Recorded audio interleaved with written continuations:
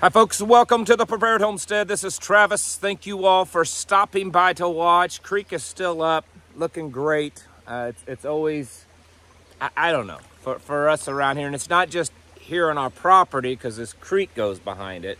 Um, a lot of people in the area, they're always asking, what's the creek looking like?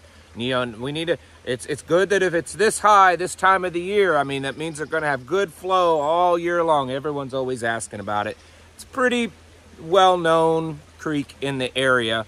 Uh, flows into a major river uh, for the state, so it's it's it's it's it's enjoyable. It's a nice, clean, spring-fed creek. Love it.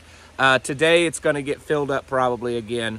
Uh, we've got some very severe weather headed our way, so myself, our family, our emergency response team, and the fire department that our our our prepper emergency response team is attached to are all kind of getting into that mode of, of storm mode. Uh, they're calling for, you know, tennis ball, baseball size hail, uh, tornadoes possible, strong winds exceeding 60, 70 miles an hour.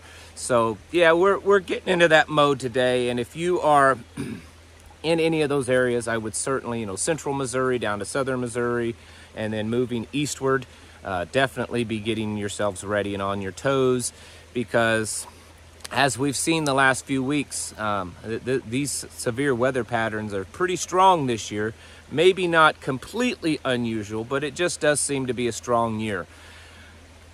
Wanted to kind of talk a little bit less about all the current stuff that's going on. I mean, I'll probably mention that some in this video, but basically the message is, is that there seems to be a little bit of a a little lull. I've talked about this before in the past, how we go through periods of excitement and then things are just they're happening. You know a few weeks ago it looked like iran and israel were ready to start world war iii we've had you know various things in the market happen.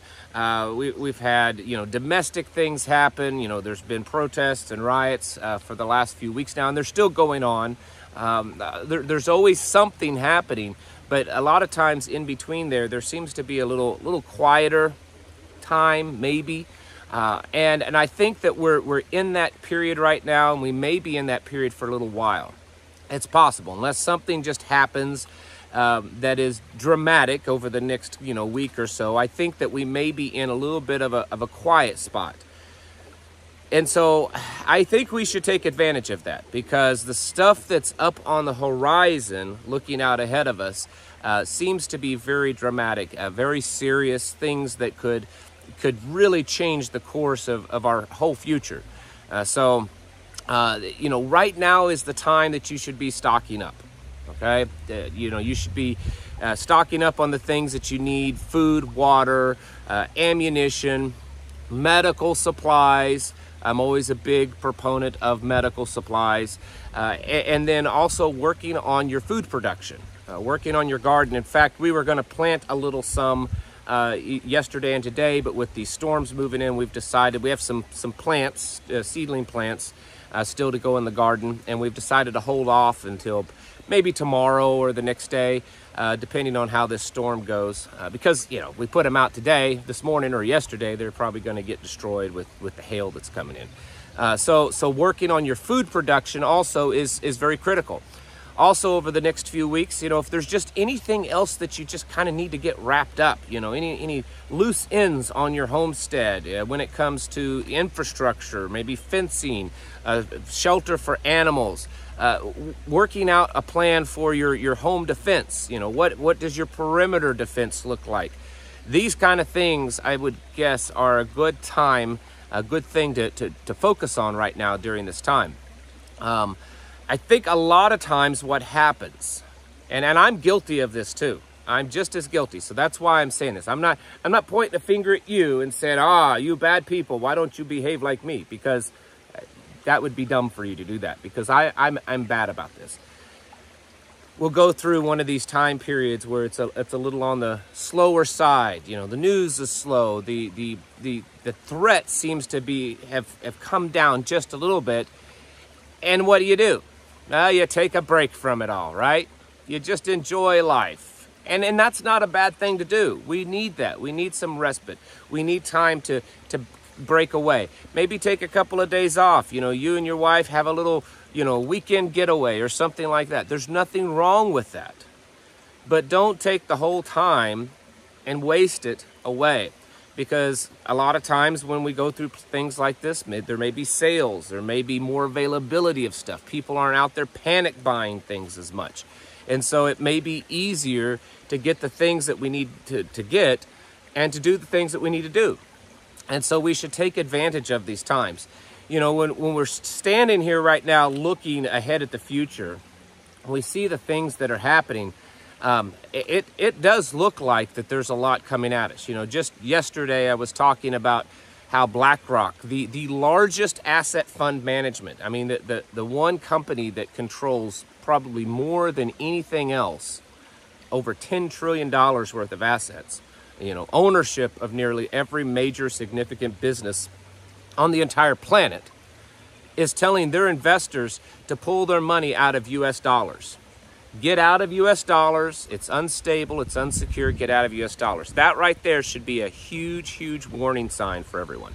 We've got, uh, I saw this morning the, the head of Staten Island Correctional Facility, whatever, the jail there, uh, is, has made an announcement that they are now prepared to accept Donald Trump as a prisoner. While we have the judge and, and, and all that kind of stuff um, saying, hey, you know, we're gonna we're gonna lock we're gonna lock Donald Trump up. We're gonna lock him up. And we've got illegals pouring across the country just as much as ever before. We've got uh, Russia and Belarus doing nuclear war drills while the NATO is saying, yep, we're going to accept Ukraine in as, as part of NATO. And we've got Israel invading a ground invasion into Rafah, southern Gaza, which has the whole Middle Eastern world in a real big upset, while the Biden administration seems to be backing away from supporting Israel because of that one thing. Uh, there, there's so many things going on right now that indicate the, the near to medium distant future doesn't look very good. And, and when you set out a timeline, we're talking between now and, hey, guess what? Towards the fall, which is which is the election time.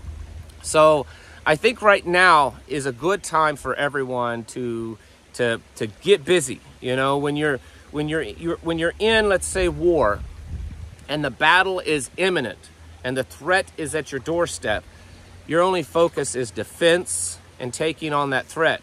But when that threat level comes down and it's not quite at your doorstep, that's the time that you can go through and, and, and refit things, resupply, clean stuff, do a little training, go over, do some inspection, make sure everything is ready to go for that next threat. And that's where we are right now. We're in that time that maybe the threat isn't quite at our doorstep, but it's there out into the future. And we need to take this time to kind of re, reset everything, you know, regroup and, and figure out what our, our plans are and what we need to resupply.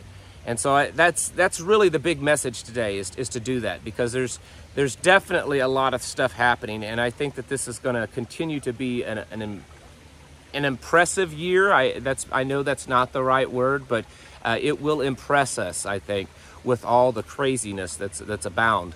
Uh, and I, I, didn't even mention the, the H5N1. You know, that's that's building and building. We had the CDC yesterday or day before warning that that this H5N1 has every marker on it to be the next big pandemic, and that they believe that it will be 300 times as as as deadly as the coronavirus. So now more than ever, it's time to start stocking up, prepping up, planning up, re-gear, uh, regroup, uh, reset things, get it all ready for the next big thing, which the next big thing could be kind of one of the final things uh, leading up to this election cycle.